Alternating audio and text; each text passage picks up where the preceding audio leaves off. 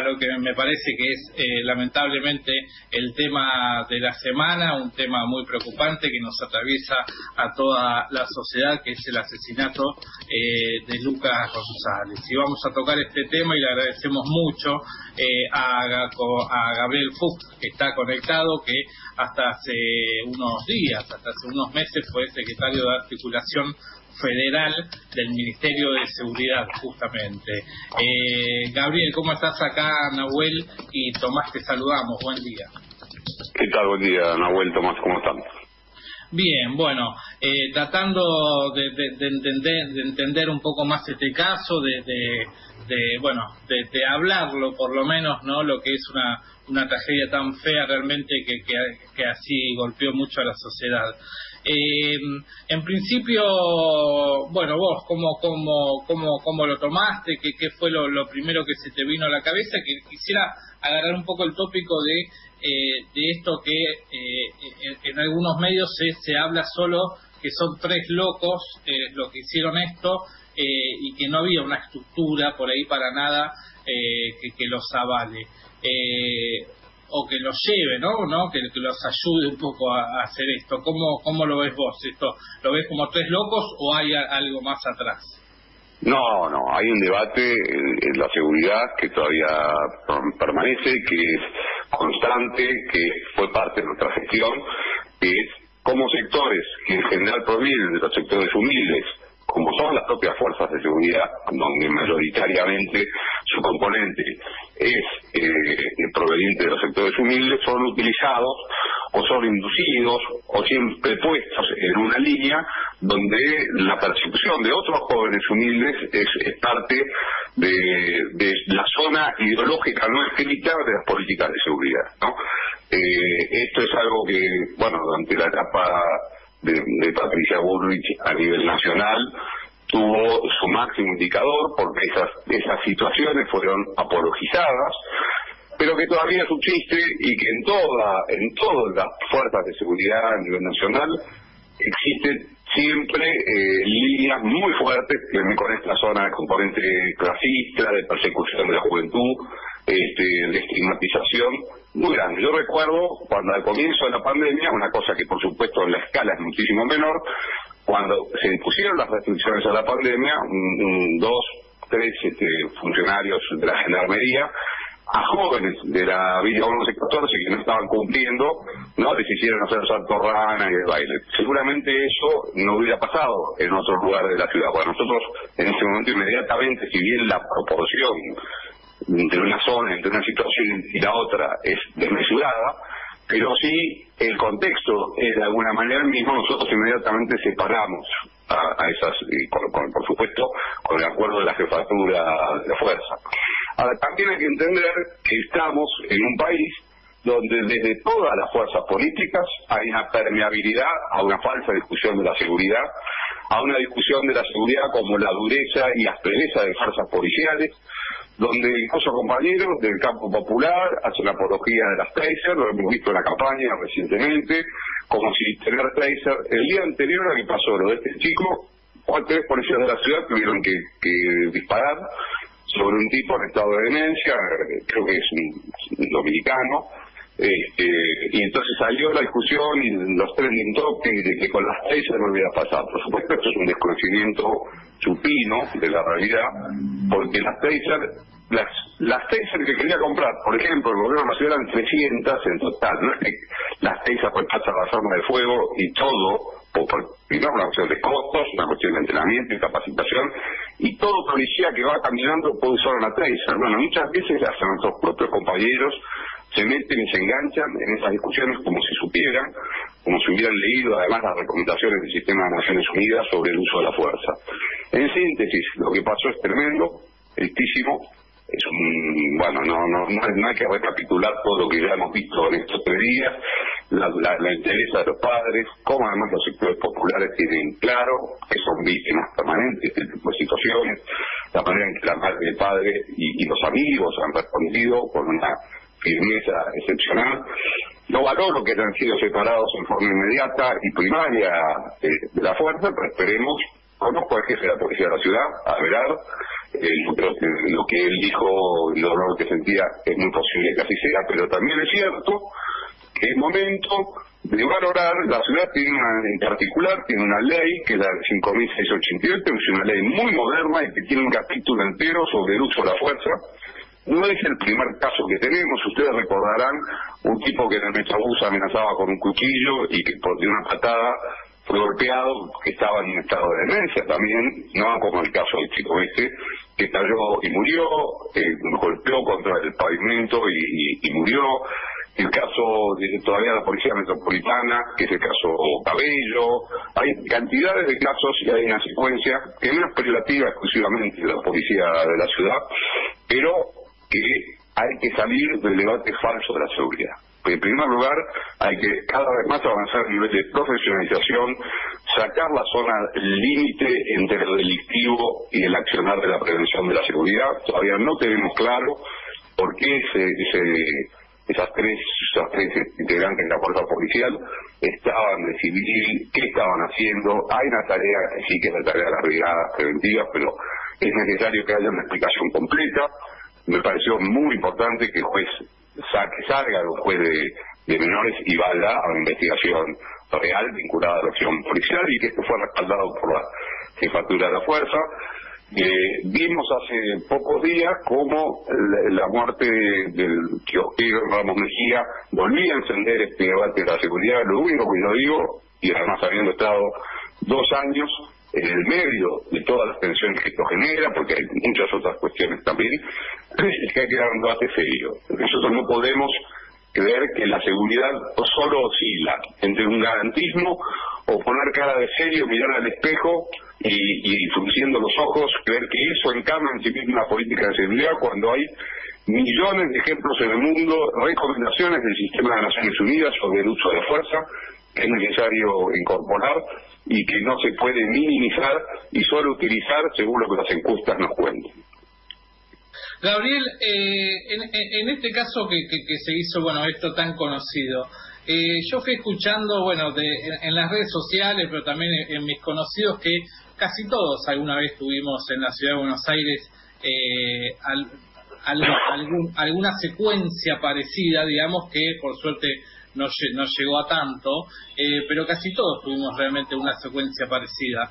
Eh, ¿qué, qué, qué, es lo que, por ejemplo, para, para, para entender los protocolos que, que se rompieron? la policía de civil lo, que hicieron pueden ir eh, así tiene cómo es lo cómo es lo que tendrían que hacer pueden ir detener a alguien perseguir a alguien sin identificarse eh, pueden empezar a los tiros ¿qué, qué, cuáles son todos los protocolos no empezar a los tiros empezar los tiros no puede absolutamente nadie, nunca. Empezar los tiros. La policía, el uso de la, el uso de la fuerza está, primero hay todo un sistema de regulación donde el uso de la fuerza, especialmente de, las armas, es el último escalón. Existen niveles de advertencia, niveles además eh, donde lo importante para que haya una racionalidad en el uso de la fuerza es, por ejemplo, el número. Si uno va, ve que hay una situación de ese tipo y suponiendo que no existe, yo estoy convencido de que no existe, pero que la hipótesis fuera que hubiera algo que la policía hubiera detectado como una anomalía en el desplazarse de estos jóvenes. Yo creo que no existe nada. Pero suponiendo que esto pasara, tiene condiciones para generar una convocatoria inmediata a más actores policiales para que el número sea lo que prime por sobre un enfrentamiento mano a mano. ¿Se entiende lo que quiero decir?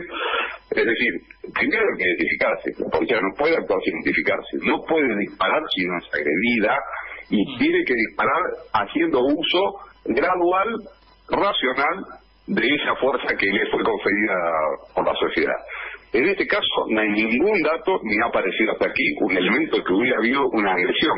Si hubiera habido una fuga, por suponer también, y descarto lo que haya sucedido, pero como parte de la argumentación viven los abogados, por lo que estuve escuchando, si hubiera habido una fuga, hay otros mecanismos que es, en primer lugar, insisto, convocar a una correlación de fuerzas, pues, lo que estoy diciendo lo traduzco, llamar a otros patrulleros que estén en la zona para hacer un cerco. Es mucho más fácil eso que inmediatamente disparar a disparar al cuerpo.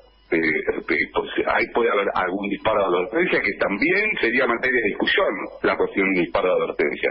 Puede haber disparo a las gomas, puede haber pero el disparo fue al cuerpo, un chico con dos balas en la cabeza. Por lo tanto, la desproporción de haber existido alguna amenaza es enorme.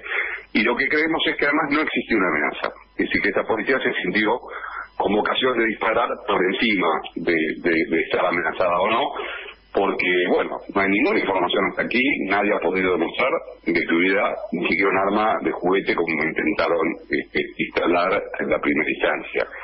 Es decir, la, la proporcionalidad y la racionalidad del uso de la fuerza, y además la ley de la Ciudad de Buenos Aires es muy estricta en ese punto, porque nosotros, yo fui diputado y fui uno de los que, fui el vicepresidente de la Comisión de Seguimiento, es decir, fue el que negocié por la oposición la ley de seguridad de la Ciudad de Buenos Aires, en su momento, uno de los que negoció, hicimos el punto sobre el uso de armas de fuego en las manifestaciones sociales, el tema del uso de armas de fuego, la no identificación de los efectivos, fueron temas debatidos hasta el último segundo y lo que motivó que la ley saliera con un proceso importante y que la ley en sí, su letra escrita, la haga una ley bastante eh, moderna, pero que evidentemente su adaptación a la realidad todavía falta mucho. Igual esto no pasa solamente en la ciudad de Buenos Aires, en la policía bonaerense tenemos casos muy similares, muy recientes, tanto de la época del macrismo como de la época del post-macrismo. ¿no? Recordemos el caso de Lobos, de los chicos, este, perdón, de no Lobos Montes, eh, que fueron masacrados. Hay situaciones de esta en forma permanente. En la ciudad de Buenos Aires se han reiterado, hay casos bastante conocidos, no hay ningún argumento que pueda sustentar, ni el mejor abogado del mundo pueda sustentar un chico de 17 años esté con dos balas en la cabeza, aún cuando con mucho esfuerzo lograron mostrar que hubo un espíritu evasiva de su automóvil. Ariel, eh, te quería consultar, eh, ¿vos pensás que también, eh, venimos también de, unas elecciones donde se plantearon muchas posiciones con respecto a la seguridad, hasta llegamos a escuchar a Esper hablando que había que hacer queso gruyer ¿no? con los delincuentes. ¿Vos pensás que también ese tipo de posiciones eh, tienen que ver con, estos, con estos casos?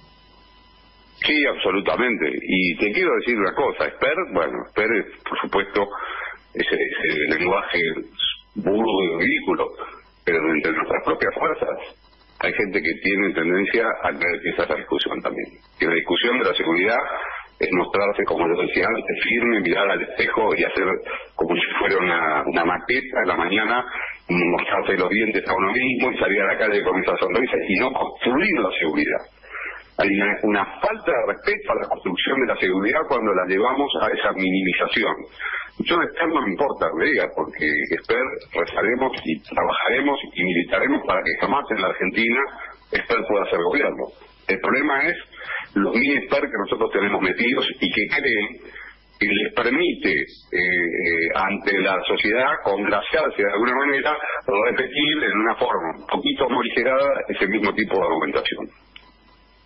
Eh, ¿Y cómo ve, cómo, cómo te, cuál era la relación con, con la ciudad de Buenos Aires en cuanto a este tipo de casos? Digo, vos estuviste muchas en muchas reuniones federales, digamos, con todos los ministros del país, pero digo, ¿cuál era la posición de la ciudad de Buenos Aires cuando cuando salían estos, estas discusiones?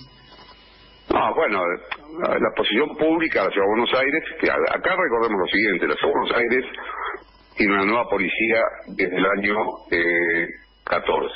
¿no? Ya estamos por su séptimo año de la policía que, se construyó por el traspaso de una gran parte de la Policía Federal, que cumplía tareas eh, dentro de la Ciudad Autónoma de Buenos Aires, y la preexistencia de la Policía Metropolitana. Hoy la Policía de la Ciudad es una policía de territorio pura y dura, de que tiene entre 28 y 30 mil efectivos, eh, las fuerzas federales solo en algunos lugares, es un otro debate, ¿no? en la 1114 todavía mantienen alguna presencia física en la ciudad de Buenos Aires, pero nosotros teníamos mucha discusión, no solo con la ciudad de Buenos Aires, durante la época de la pandemia, que fue un momento más complicado, porque la observancia de los derechos individuales, estaba bueno en, una situación nueva y era complejo, el tema de, la circulación estaba en crisis, entonces nosotros tuvimos mucho debate con muchas eh, policías provinciales y con muchas situaciones. En, su momento, con la ciudad tuvimos varias tensiones sobre cómo la policía se mueve. Lo que yo creo es que además la ley de la Ciudad de Buenos nunca fue implementada en su totalidad. Insisto, la ley eh, es una ley muy completa y donde el uso de la fuerza, por ejemplo, hay ayer un periodista que no lee nada, creo que la del TN, hablaba de que los asuntos internos de la Ciudad de Buenos Aires están desarrollar. Bueno, existen más asuntos internos. La ley eliminó asuntos internos. Lo que hay es una oficina de transparencia que la maneja un civil. No importa si el civil no responde al poder del turno, pero es una situación distinta, no es la policía la que se investiga. Bueno, ni siquiera los periodistas que se dice que investigan los temas o que se supone que hablan de esto, saben que han leído o han leído ni siquiera una síntesis de lo que es la ley de la Ciudad de Buenos Aires.